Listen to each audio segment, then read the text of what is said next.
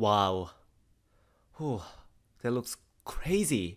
1 over square root of x times fourth root of x plus 1 raised to 10th power. That's gigantic, 10th.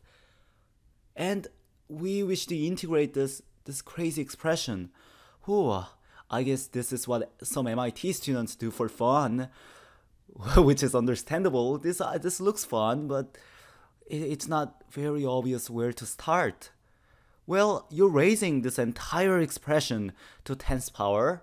So maybe this entire expression is what we want to let be u. So let's make let's make substitution. u is equal to fourth root of x plus 1. Maybe that's going to help us out. But you want to relate this expression to square root of x. How can we do that? Well, fourth root of x is equal to u minus 1 and square root of x square root of x is x to the 1 half. Fourth root of x is x to the 1 fourth. So you can square this you can square this expression to go from x to the 1 fourth to x to the 1 half. So u minus 1 squared is x to the 1 half or square root of x. So we know what square root of x is that's u minus 1 squared. This crazy expression is u minus is it's just u to the 10th power. And now we have to simplify dx. Hmm. Well, you have x to the 1 fourth is u minus 1. So x is equal to u minus 1 raised to fourth power. I'm just raising both sides of this equation to fourth power. 1 fourth and 4 cancel out and you have u minus 1 to the fourth. So dx, differentiating, gets us 4 times u minus 1 cubed du. So let's let's put let's make all these substitutions. Let's let's replace dx with 4 times u minus 1 cubed du. Replace square root of x with u minus 1 squared and replace this crazy part with u to the 10th and we see right away that things are going to cancel out which is fantastic.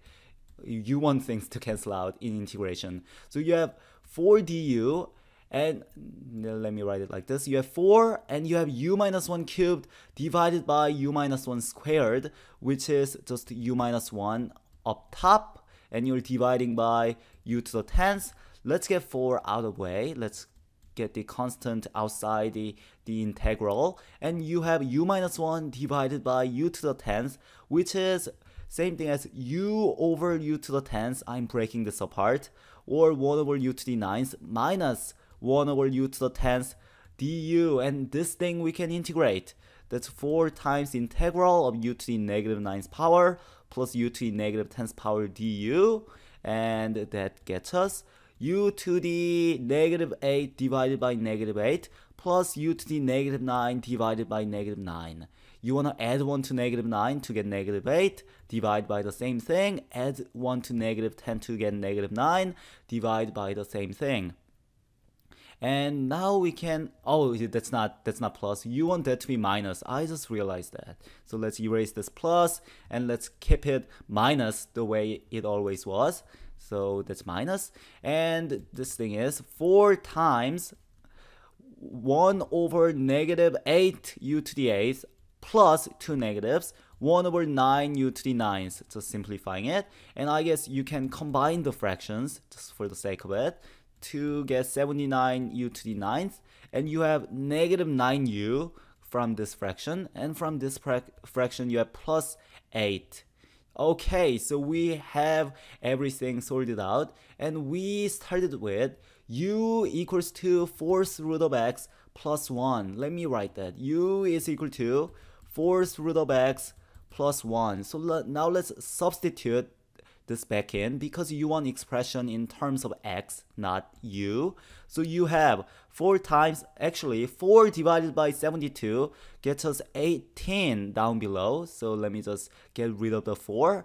So you have negative 9 times u, fourth root of x plus 1, plus 8 over 18 times times u to the 9th, fourth root of x plus 1 to the 9th, which is distributing negative 9 times fourth root of x minus 9 plus 8 over 18 times 4th root of x plus 1 to the ninth and minus 9 plus 8 is same thing as minus 1 so let me change that to minus 1 and we are done negative 9 fourth root of x minus 1 over 18 times fourth root of x plus 1 to the ninth. Let me write that. So our final answer, integral of 1 over square root of x times fourth root of x plus 1 to the 10th power is negative 9 times fourth root of x minus 1 all divided by 18 times fourth root of x plus 1 to the ninth power